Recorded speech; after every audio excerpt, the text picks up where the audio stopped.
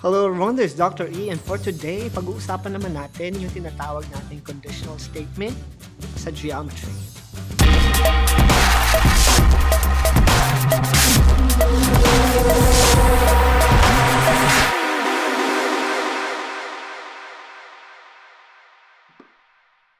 At tulad ng sinabi ko, sa geometry, hindi lang mahalaga na magaling tayo mag-memorize ng mga formula sa pag-solve ng mga missing parts ng ating mga geometric figures. At the same time, tinuturuan din tayo ng geometry kung paano mag-isip at mag-articulate ng mga, ng mga mathematical processes using uh, particular statements or how we write things in mathematics. At yan ang pag-uusapan natin sa ating lesson today on conditional statements. At ang conditional statements, by definition, a conditional statement is a statement or pangungusap that is written or that can be written in if-then form. So yan yung ating gagamiting format ng pagsulat ng mga statements or sentences sa geometry or sa mathematics para makabuo tayo ng mga statements na makakatulong sa atin para masigit natin maunawaan yung mga theorems na nababasa natin at pinag-aaralan sa geometry. So ano nga ba ang mga conditional statements na ito? When a statement is in if-then form, the phrase that follows if is called the hypothesis, and the phrase that follows then is what we call as the conclusion. So yan yung dalawang um, types of uh, statements or parts ng ating conditional statements na kailangan nating ma-identify para makapagsulat tayo ng mga conditional statements tulad ng if-then na gagamitin natin today. So paano nga ba tayo magsulat ng if-then statement, also known as a conditional statement? Isang halimbawa dyan, if a figure is a pentagon, then it has five sides. So ito ay example ng conditional statement dahil meron tayong hypothesis which is figure is a pentagon or a figure is a pentagon at meron din tayong conclusion which is it has five sides. So kung ang ating mga statements ay may hypothesis at may conclusion at meron siyang if-then form, so matatawag natin siyang if-then statements. So ano-ano pa nga ba ang halimbawa ng if-then statements?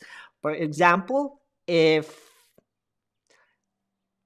makulimlim ang araw, then may posibilidad na umulan.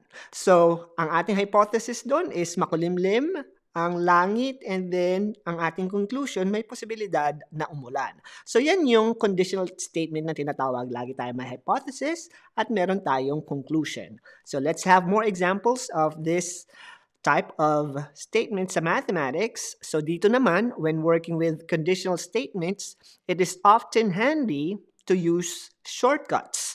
And tulad sa mathematics, Mahilig tayo sa shortcuts, mahilig tayo sa symbols, at mahilig tayo sa notation para mas madali yung pagsulat at pag-process ng ating mathematical uh, analysis. At yan yung gagawin natin sa conditional statement. So sa ating hypothesis, let's say ang ating hypothesis ay an animal is a turtle at ang ating conclusion, the animal is a reptile. So, hindi pa siya conditional statement dahil hindi pa siya if-then form. So, kung isusulat natin siya sa conditional statement at gagamitan natin siya ng mga shortcuts, tulad ng algebra, meron tayong mga variables sa statement or symbolic logic, pwede din nating mag-assign ng mga letters sa ating mga statements or, in this case, part ng ating conditional statement. So, tatawagin nating P ang ating hypothesis which is an animal is a turtle at tatawagin natin Q yung ating conclusion which is the animal is a reptile. So kung meron tayong P and Q, maaari natin gamitin yung mga variables na yan para makapagsulat tayo ng mga shortcut notations or symbol tungkol sa conditional statement. So in verbal form or in sentence form, we can write it out as if an animal is a turtle, then the animal is a reptile. At yan yung tinatawag nating conditional statement in sentence or verbal form. Paano natin siya gagawing symbolic or in mathematical notation? Pwede natin gamiting P, then Q yung ating statements at syempre kailangan naka-defined kung anong ibig sabihin ng P at anong ibig sabihin ng Q. And in this case, P is an animal is a turtle and Q is the animal is a reptile. So ang P then Q, ang ibig sabihin niyan sa statement na yan ay yung ating conditional statement na if an animal is a turtle, then the animal is a reptile. Now, meron pa ba tayong pamamaraan para gamitin yung mga symbols natin para sa conditional statements? Yes, meron pa. Pwede din natin gamitin yung word na implies instead of then para sa ating if-then statement. So, P implies Q ay isang halimbawa ng notation sa conditional statement at kung gusto pa natin gamitan ng symbol, pwede tayong gumamit ng arrow which is P going to the Q na ang ibig sabihin pa rin ay if-then statement or conditional statement in symbol form. So yan yung tatlong notations or tatlong way ng pagsulat ng ating mga conditional statements in mathematics given na meron tayong mga variables tulad ng P and Q. So ibig sabihin kung mag-identify tayo ng P at ng Q sa ating conditional statement, let's say if a number is even, then the number is not odd. So, ibig sabihin nito, kukunin natin kung sino daw yung ating P statement at kung ano yung ating Q statement. And in this case, tanggalin natin ang ating mga distraction. Ang ating P dyan ay syempre yung ating hypothesis. A number is even. So, yan yung ating hypothesis at yung ating Q naman, then the number is not odd. So yan yung ating P and Q at yan example ng if-then statement or conditional statement dahil meron na tayong assigned na value for P and Q at yan yung halaga kung bakit kailangan alam natin yung ating mga notations para mas magkaintindihan tayo pagdating sa mga math problems na kung saan hindi verbal yung ating mga words na nababasa, kundi mga symbols tulad ng hypothesis and conclusion in our example. So yung P natin ay yung ating hypothesis at yung Q yung ating conclusion. Therefore, pwede natin siyang isulat as this form at pwede din natin siyang isulat in this form. P then Q. At tulad nga na sinabi ko, marami tayong pamamaraan or notations para isulat yung ating conditional statement. So, ang ibig sabihin yan, kung meron tayong statement na P arrow Q, ibig sabihin yan ay ang ating statement ay conditional statement. So, kung meron tayong P is a figure is a square, at yung Q natin is the figure is not a triangle. So meron tayong hypothesis at meron tayong conclusion. So ang ating if-then statement dyan na nakasulat na yung sagot, which is P then Q, ay pwede nating isulat as if a figure is a square, then the figure is not a triangle. So yan yung ating uh, pagsulat ng ating mga conditional statement using different notations at kung paano natin i-assign yung ating mga variables sa geometry tulad ng ating nakikita sa ngayon. So kung paano naman kung kailangan nating magsulat ng if-then form given a statement na hindi conditional. Tulad ng acute angles measure less than 90 degrees. So mapapansin ninyo na ito ay simply or basic statement lang or sentence pero hindi siya if-then form or conditional. So ang gagawin natin, gagawin natin siyang if-then form or P-then Q. So paano natin to isusulat using this form? Siyempre, kailangan natin i-assign kung ano ba yung pwede natin gawing P at kung ano yung pwede natin gawing Q. At ang P natin ay hypothesis, acute angles measures less than 90 degrees. So ang ating hypothesis dyan ay pwede natin gamitin yung ating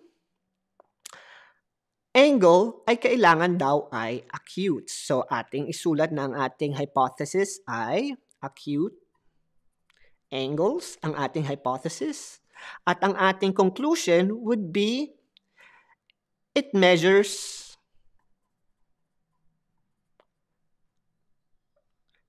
less than 90 degrees. So, yan yung ating P at yan yung ating Q. At nakapagsulat na tayo ng conditional statement na P then Q dahil dito sa ating mga hypothesis at conclusion na nagawa. So, pwede na natin siyang isulat in sentence, fo- sentence form. If an angle is acute, then it measures less than 90 degrees. So yan yung iba't ibang mga para, para pamamaraan ng paggamit ng mga notations or ng symbols para makabuo tayo ng mga conditional statements in geometry. Now, ano-ano mga ba ang dapat nating matutunan about conditional statements? Dahil may iba't iba tayong uri ng conditional statements, paano natin masasabi kung true or false yung ating conditional statements, meron tayong mga rules dyan na pwedeng tandaan. So, paano natin malalaman na ang conditional statement natin ay true or false? Yung ating unang statement ay kailangan daw ang conditional statement is true if every time the hypothesis is true. Kaya ang ating conclusion daw should also be true. So yan yung ating first condition sa conditional statement na merong value or merong true na kahulugan. So a conditional statement is true if every time the hypothesis is true, then the conclusion is also true. Paano naman kung ang conditional statement natin ay false?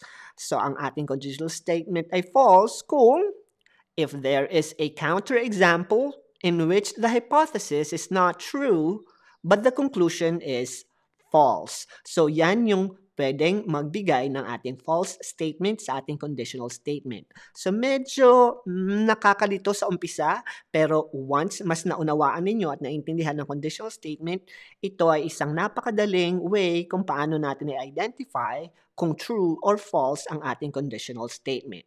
So halimbawa, meron tayo ditong statement at kailangan nating i-determine kung whether it's true or false.